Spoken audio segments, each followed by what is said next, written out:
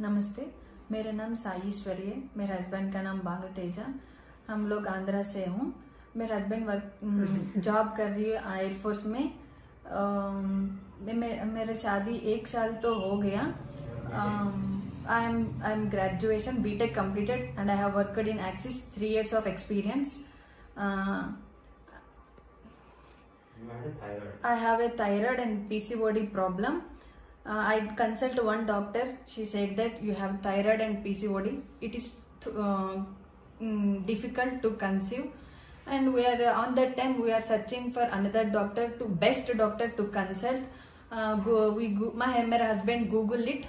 Uh, uh, on that time we saw good reviews about Dr. Vikas Gorhe and Vinita Gorhe uh, they treated as if uh, in this pandemic time also they treated very friendly nature they like they are treated like a family members they treat um, Economic. economic as a stepwise stepwise uh, treatment. And now uh, i am second month. Uh, it is very happy to share with you. I listen my baby heartbeat today. Uh, i am so happy. There is no words to say about um, dr vikas gorhe and vinita gorhe. Mm, their their staff also very good and friendly nature thank you so much